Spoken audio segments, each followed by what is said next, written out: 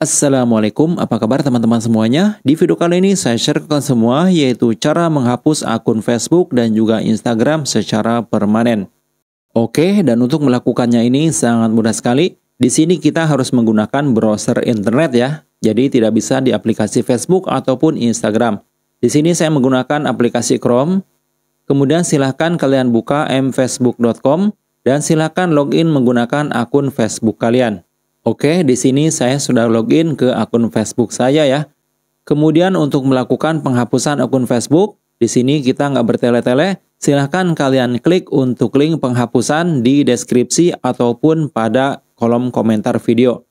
Ya, di sini saya sudah mengkopinya. Nah, kalian akan diarahkan ke halaman ini ya setelah mengklik link yang ada di deskripsi video saya.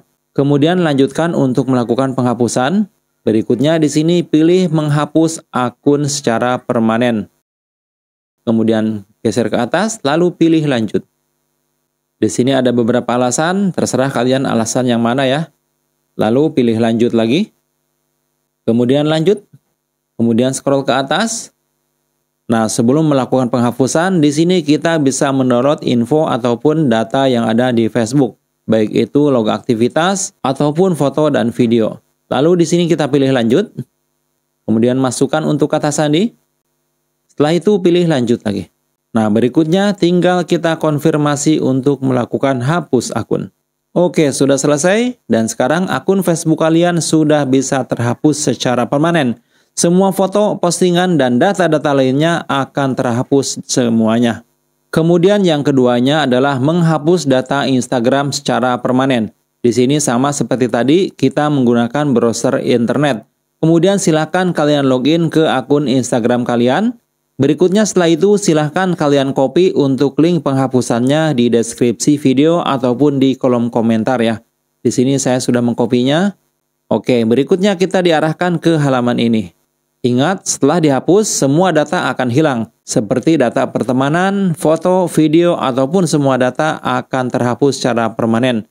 Ya di sini kita pilih saja alasannya bebas ya. Oke, di sini apa aja bisa kita bikin. Kemudian masukkan untuk kata sandinya. Scroll ke atas. Setelah itu silakan hapus akun Instagram secara permanen. Oke.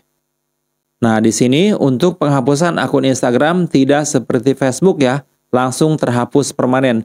Untuk Instagram di sini ada tenggat waktu yaitu 13 Oktober. Jadi kurang lebih satu bulan dari sekarang akan terhapus.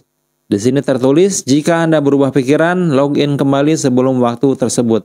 Jadi sebelum 13 Oktober, kita masih bisa melakukan login dan memulihkan akun. Baik teman-teman, itu dia cara mudah untuk menghapus akun Instagram dan juga akun Facebook secara permanen. Terima kasih banyak sudah menonton. Wassalamualaikum warahmatullahi wabarakatuh.